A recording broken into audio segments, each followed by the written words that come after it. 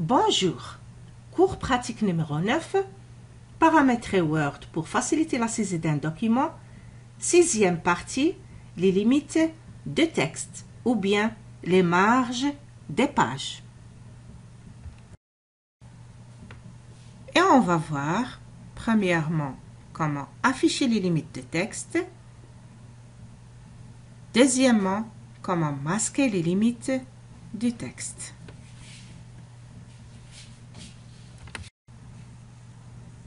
Lorsque vous saisissez un texte dans Word,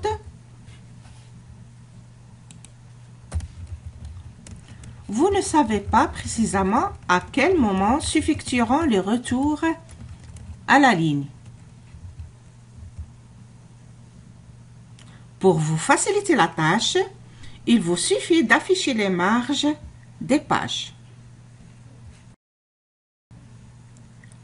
Pour afficher les limites d'un texte, cliquez sur le menu Fichier, ici, puis sur Options. Dans la fenêtre qui s'ouvre, cliquez sur Options avancées. Dans la zone Afficher le contenu d'un document, ici, afficher le contenu d'un document, cliquez sur afficher les limites de texte ici. Donc, il faut cocher la case afficher les limites d'un texte. Puis confirmer avec le bouton OK. Et comme ça, les limites de texte seront affichées. Et lorsque je tape un texte,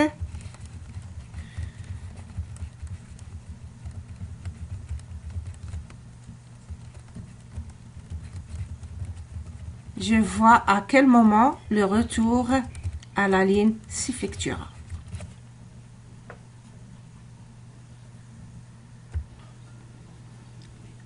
Lorsque les limites de texte sont affichées, les marges des feuilles sont matérialisées par un petit trait en pointé, comme vous le voyez.